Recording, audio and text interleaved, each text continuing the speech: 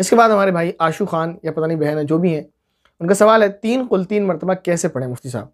पहले तीन बार सूर्य अखलास फिर सूर्य फलक, फिर तीन बार सूर्य नास, तीन बार ऐसे पढ़ना चाहिए क्या? या एक बार में एक एक मरतबा पढ़ें? प्लीज़ रिप्लाई ज़रूर दीजिए तो परेशान ना हुआ करें। तीन बार बोला, किसी भी तरीके से तीन बार पढ़ सकते हैं, कोई मसला नहीं है।